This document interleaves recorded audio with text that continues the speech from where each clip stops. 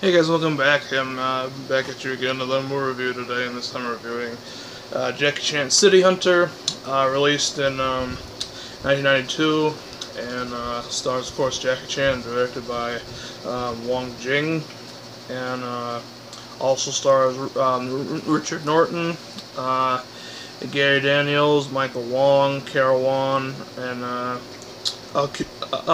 Kumiko um, Goto and uh, Chingmy Yau and uh, Leon Lai, I think that's how you say it. Um, so the basic plot line is basically about a guy uh, named, uh, uh, I forget how you say it. It's kind of hard to say his name. Um, um, I think it's uh, Ro, uh, or um, P.I. Rowe or something. Um, yeah, uh, so it's basically about P.I. Rowe Sabia, um, who basically uh, is sent on a mission to kid to uh, uh rescue a daughter that has been kidnapped.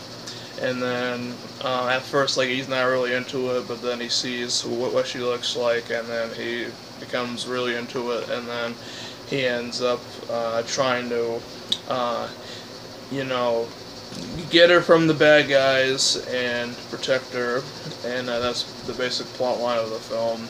And this one was not released in America. This was only released in uh, Asia, uh, believe it or not. And uh, this movie is uh, was filmed in Cantonese and in English because um, American actors are on this as well. So um, they um, filmed it in English and also uh, Cantonese, uh, most of the part Cantonese, but you can dub it uh, if you want to. There's um, choices that you can watch it in uh, Cantonese, uh, in English, and that's pretty much it. And this one's uh, rated PG-13, so it's pretty good. Not one of his best films, I'd say, but the stunts and the action sequences are just badass.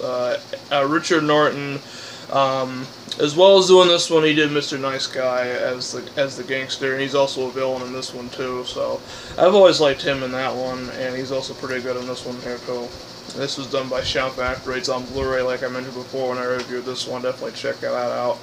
Um, but uh, yeah, I'd say it's uh, very funny.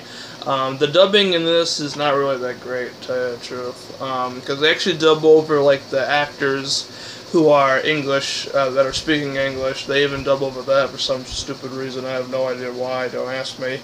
But uh, yeah, I, I just thought that was uh, very dumb. Uh, I think that they just should have dubbed over like when they were speaking Cantonese and stuff like that, and just like kept like people speaking English just like out of it. Maybe it's just me, but um, yeah, it's a very very good watch. Um, very funny and uh, Jackie Chan dresses up as a girl a couple times in this. I don't know if you can see it, but hopefully that shows up right. But uh, yeah, it's just really um, stupid funny, if you will. But um, yeah, Jackie Chan's just amazing at everything he does. And um, yeah, that's pretty much it for my review.